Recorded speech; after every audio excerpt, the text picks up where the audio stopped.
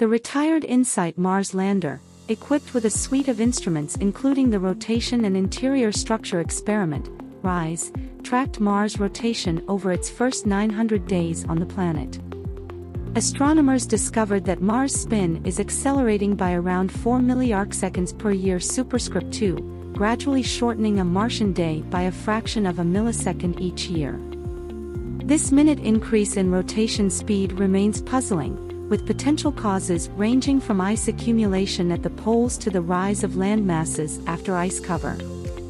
InSight, NASA's first mission to study Mars' interior, was originally intended for a two-year duration upon its November 2018 landing. However, it was extended by an additional two years. Despite losing power and retiring in December 2022 due to dust obstructing its solar panels, InSight's advanced radio technology and upgraded deep space network contributed to groundbreaking insights. RISE, in particular, allowed researchers to observe minute frequency changes caused by Mars' rotation through signals beamed to the lander and reflected back to Earth.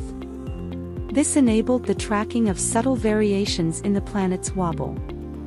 Moreover, InSight's data revealed that Mars has a molten metal core, and RISE measurements of its wobble were used to estimate the core's size, with a radius between 1,112 and 1,150 miles. Although InSight is no longer operational, its four-year dataset has revolutionized our understanding of Mars. This mission unveiled previously unknown details about the planet's interior, and scientists will continue analyzing its data for years. Bruce Banerdt, InSight's principal investigator, highlighted the significance of these findings after years of dedicated effort.